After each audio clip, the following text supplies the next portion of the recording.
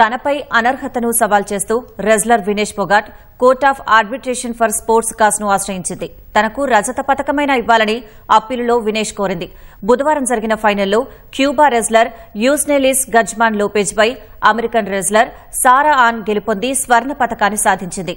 లోపేజ్తో పాటు తనకు కూడా రజత పథకాన్నివ్వాలని వినేష్ అప్పీల్లో కోరింది. దీనిపై ఇవాళ కాస్ విచారణ చేసి తీర్పు ఇవ్వనుంది.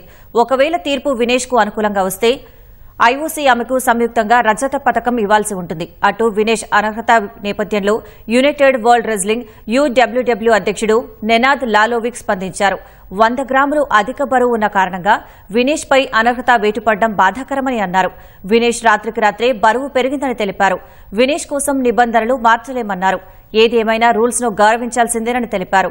ఇందుకు వినేష్ మినహాయింపు కాదన్నారు. వినేష్ స్వల్ప తేడాతోనే అధిక బరువు ఉన్నప్పటికీ నిబంధనలు మార్చలేమని లాలోవిక్ స్పష్టం చేశారు.